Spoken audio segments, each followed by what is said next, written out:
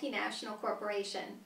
We all know that Apple achieved widespread success with its iPod Touch and iPad products, which introduced innovations in mobile phones, portable music players, and personal computers respectively.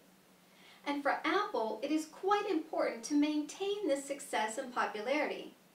One of Apple's biggest key issues will be the rate that technology is growing and the ability to keep up with and also with the prices at which their products are sold for.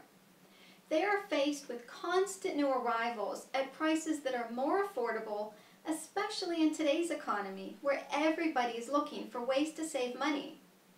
They are also faced with having to maintain their marketing relationship building and brand management techniques as they spread into a much wider market gaining a much larger customer base that includes a more diverse customer. As we all know, in this modern era where technology and the entertainment industry is constantly evolving, the question that arises is, how will Apple be able to maintain the reputation of its brand and their exclusive design? Will it be easier for Apple to constantly be able to put something new out in the market that will keep catching their consumers' attention. Hello all, and welcome to the lecture on critical factors in managing technology, where we shall understand how any company faces critical issues in managing technology and how they will be successful in solving those issues. After the lecture, we will be able to learn the following objectives. Understand the creativity factor, Define the link between science and technology. Discuss creativity and innovation.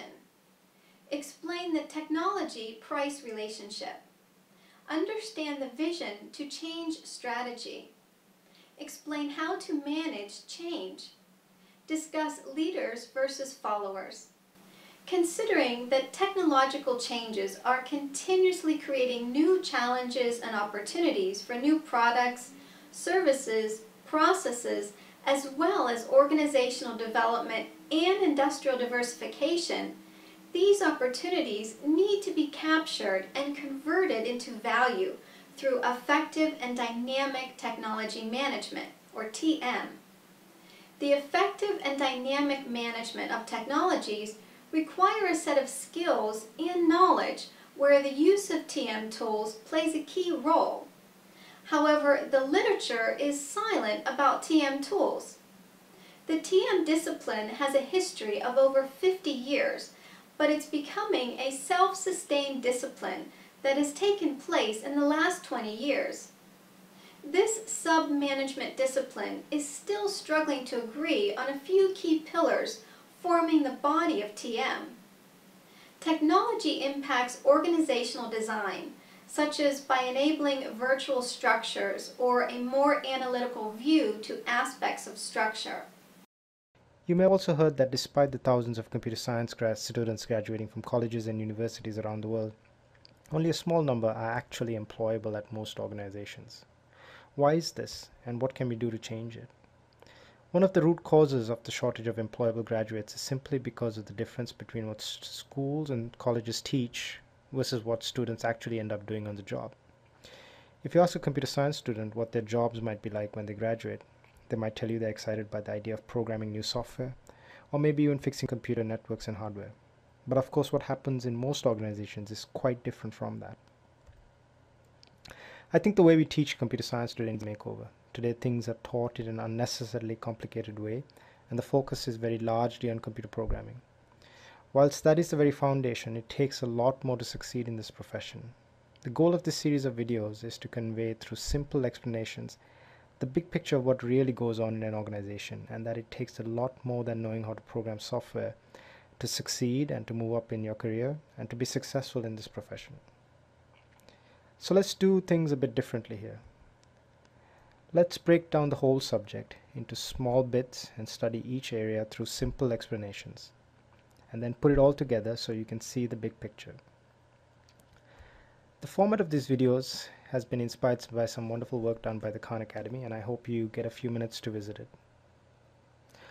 Let's, stay, let's start by looking at the types of things that computer programmers make. There are many, but broadly they can be categorized into three main buckets. Operating systems, the smallest bubble, employs the fewest number of people in the industry. Examples include things like Windows 7, Mac, which help run your computers and laptops, and software like Android that run your smartphones and tablets. Embedded software are things that run inside machines, just cars, to control the engine. They help planes to fly and land safely and keep food in cold in your refrigerator. User software is the largest bubble and represents things like websites, business applications such as those used by your phone company to calculate your monthly phone bill, personal applications such as listening to music, typing documents, creating spreadsheets. Let's call this whole group applications. We will focus on this category of software as it is the one that employs the greatest number of people and also faces the highest number of challenges. So what do computer professionals actually do? We are now ready to take a quick peek into answering that question. They help create new applications or customize existing applications and when they're ready, help users to use it. They enhance it to make it better and after many months or years of using it, they help to replace or retire it. Let's discuss the concept of the creativity factor. In the beginning of the 21st century, invention, innovation, and creativity were the most important keywords that have been emphasized in the education and society-wide all over the world. Creativity was historically emphasized in several reports, including the Technology for All Americans, or TFAA project, the report of International Technology Education Association, or ITEA, and SCANS report in the USA core skill in England, and key competencies in Germany and Australia. Invention. Invention is the creation of a product or introduction of a process for the first time. Thomas Edison was an inventor. The list of best inventions changes from person to person. It can also vary accordingly to country and region. People tend to believe that their favorite or most used items are some of the best inventions ever made, and they might very well be. Even though everyone's list of the best invention varies, there are some items that generally appear on a large number of lists. These items are well used and they are considered among the best inventions ever created. Innovation Innovation happens when someone improves on or makes a significant contribution to something that has already been invented. Steve Jobs was an innovator. Innovation implies the creation of something new. In this regard, innovation is often equated with invention. However, the two definitions of innovation and invention have been evolving. Steps toward innovation are conduct an analysis of the market environment, customer wants and needs and competitors. Be open to new ideas and adaptive to change. Develop a strategic responsive plan which includes innovation as a key business process across the entire business. Leadership and innovation. Train and empower employees to think innovatively from the top down. Inspirational leadership and motivation is what drives innovation in business. Connect with customers and employees to generate ideas for improving processes, products, and services both internally and externally. Seek advice. Utilize available resources, business advisors, grants, and assistance to drive innovation in business. This may include seeking intellectual property or IP protection for commercialization of ideas. Um, before we jump into various how-to methods, I just want to take a minute uh, since it's a very abstract and um, you know uh, used in different ways, the word innovation. Um, I'm currently using them to mean that an innovation is something which um, has a problem which an idea solves, which gets implemented and its benefits, right? So it's an application of new ideas to solve problems resulting in benefits of users. So for example, um, when you ask a frame a question saying how do we provide clean drinking water at low cost, then you know an answer such as the Swach uh, product becomes an innovation. Similarly, uh, Tirupati temple uh, might ask a question, how might we uh, provide a better experience for the visitors? And to that a response to that question, you have the token system um, which is being used. And I would say that is another type of innovation as well. Let's now talk about the link between science and technology. A logical or natural association between two or more things gives the relation between them. To find out the proper relation between science, technology, and society, one must have a clear idea about each of them. Curiosity of human minds developed a systematic way to establish the relation between different natural phenomena by making observations and experiments. The emergence of technology was made possible by the development of the rational faculty, the tool, and the creation of the machine. Science. Generally, science is a system of acquiring knowledge based on proper methods in order to organize a body of knowledge gained through research. Technology. The practical application of knowledge, especially in a particular area. It refers to tools and machines that may be used to solve real-world problems. Society. A society or a human society is a group of people related to each other through persistent relations.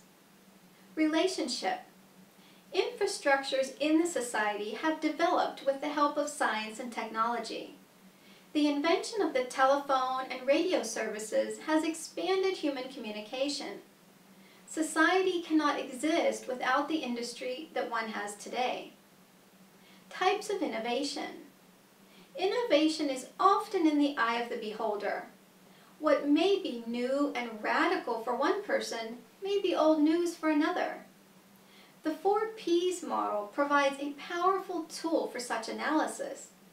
It builds on the hypothesis that successful innovation is essentially about positive change and it puts forward four broad categories where such change can take place. Product innovation.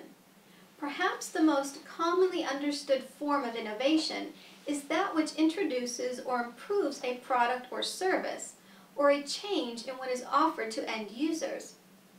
Process innovation. Innovations can also focus on processes through which products are created or delivered. Because so many of the products used in relief settings are initially developed for non-relief contexts, a natural focus for humanitarian innovation is to consider how an existing product might be used in resource-poor or rapidly changing settings. Position innovation. The third focus of innovation involves repositioning the perception of an established product or process in a specific context. Position-based innovations refer to changes in how a specific product or process is perceived symbolically and how it is used. Paradigm innovation. The final P relates to innovation that defines or redefines the dominant paradigms of an organization or an entire sector. Paradigm-based innovations relate to the mental models which shape what an organization or business is about. Creativity and innovation. There was a lot of confusion surrounding creativity and innovation. Creative types in particular claim that creativity and innovation cannot be measured. Performance, however, demands measurement so that one can identify what success looks like creativity versus innovation. The main difference between creativity and innovation is the focus.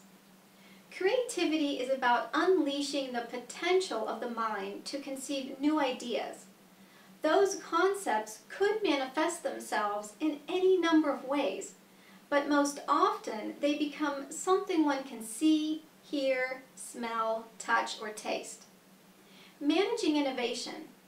Because creativity and innovation are often confused, it's long been assumed that one cannot force innovation within an organization. It is either there or it's not.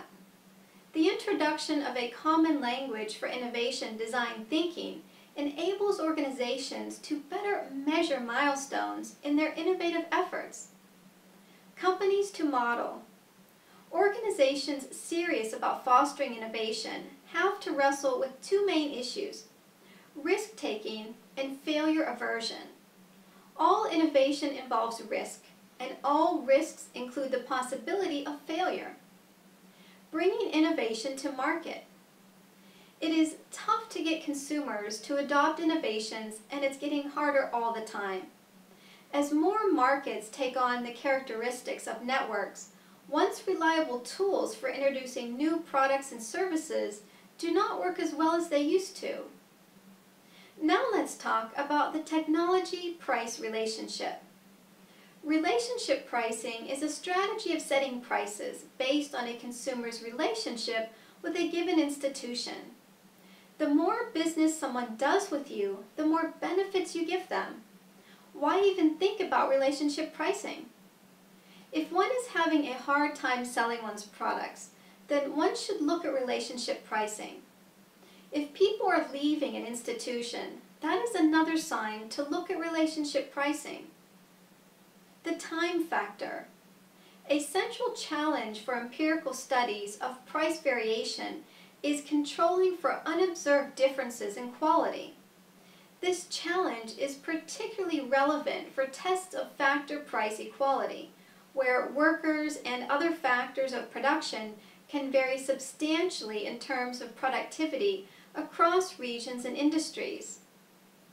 The Osborne Computer Company Released in June of 1981 by the Osborne Computer Corporation, the Osborne 1 is considered to be the first true portable, full-featured computer.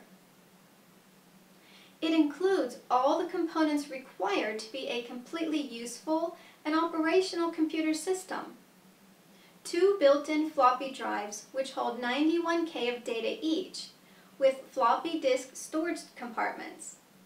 A detachable full-size keyboard with numeric keypad, a built-in, albeit small, monochrome CRT monitor, runs on the CP/M operating system, the most popular operating system at the time. Now let's explore the vision to change strategy. A strategic vision is a broad term used to describe one of the essential elements of an overall strategic planning endeavor. Essentially, a vision is the identification of the ultimate aim or purpose of a business. Within this context, the strategic vision helps to set the parameters for the development of planning specific steps to go about making that vision come true, since it establishes the general direction that the business will pursue. A workable vision clearly looks beyond where the company is today and determines where the owners want the company to be at some point in the future. IBM and the development of the PC. IBM stands for International Business Machines, the largest computer company in the world today. IBM has been responsible for numerous inventions having to do with computers. IBM background. The company incorporated in 1911, starting as a major producer of punch card tabulating machines. During the 1930s, IBM built a series of calculators, the 600s, based on their punch card processing equipment. The founder of IBM was a devout follower of Hitler.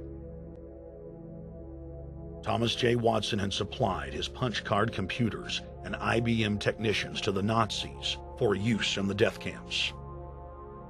Tattoos on camp victims were IBM human identification numbers, which fed into the computers. IBM had used similar punch card systems as early as 1928 in a Jamaican race mixing study. The first real computers were literally invented by a eugenicist for eugenics.